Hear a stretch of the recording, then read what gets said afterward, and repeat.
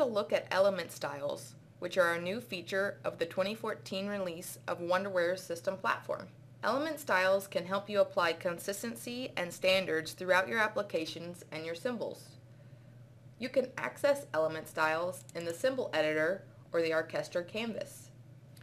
To apply an element style, we'll use this drop-down menu. Clicking this, we see a list of all the predefined ready-to-use element styles that are defined globally and will be applied consistency where you choose them.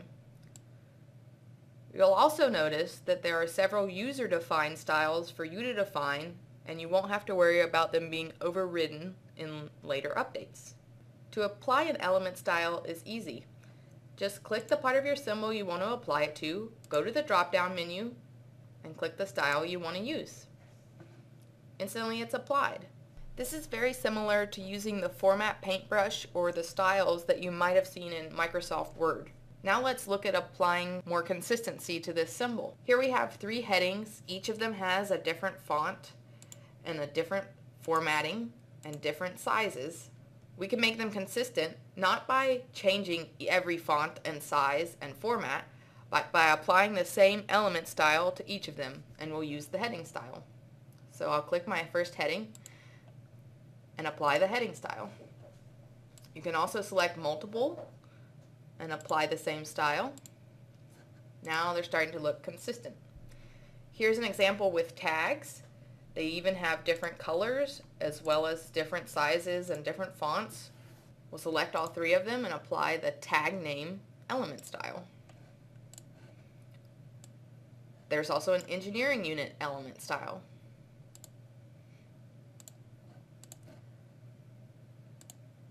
As you can see, I'm easily making things consistent.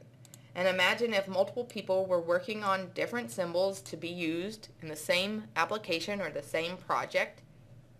They no longer have to remember that a tag is supposed to be bold or this size font. They all just have to be working in the same galaxy and using the element style library. You can also use element styles for colors. Here's a part of my symbol that say I want it to look active. I can apply an active style I can also apply not running styles. You can also use it for alarming. And let's say you're doing a process diagram. There's a style for primary and secondary process lines. Here's primary. Let's say this is a secondary process line. So now even my lines can be consistent. You'll also find in 2014 that there's an added animation for element styles. Here I can click a part of my symbol, add an animation to it. I have the option for element style.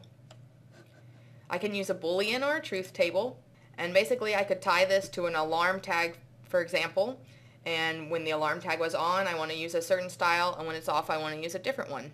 This will dynamically change the animation and the look of the style. Remember that a useful feature of the element styles is that they're configured. They're configured globally, which we can see in the Galaxy Configure Galaxy Style Library. Here we'll go to the second tab called Element Styles, and we'll see all the same styles that we saw in the drop-down menu. When you click on them, you'll get a preview of what they look like on the right side. Let's say we now want all our tags to appear red. I'll click on my color, go to red, say OK. This is also where you will find the user-defined styles and you can click on them and start setting your colors and fonts or whatever you want to define for that style. Just in case you save something that you didn't mean to, you have the ability to go back one by one and select Reset to Default. You can also select as many as all of them and reset to default. So don't worry, there is an undo button. For now, I'll save the changes that I made by hitting OK. And when I go back to edit my symbol, I notice that all my elements that had the tag name applied to them are now red. See, they're all still tied to tag name.